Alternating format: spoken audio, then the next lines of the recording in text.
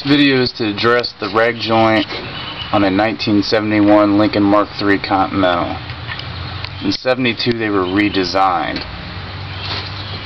The 69 to 71 Mark IIIs are actually very unsafe. You'll notice that the rag joint is right underneath the ma master cylinder. Of course, all it's holding you, your steering together, is this. A piece of rubber. What I did, if you'll notice, is I've designed a plate that attaches both sides together so if the rubber joint fails the metal piece holds you together.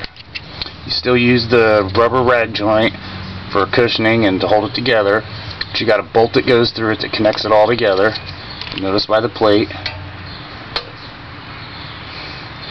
If you got wander in your steering and your steering wheel moves from side to side when you're going down the road, that's why.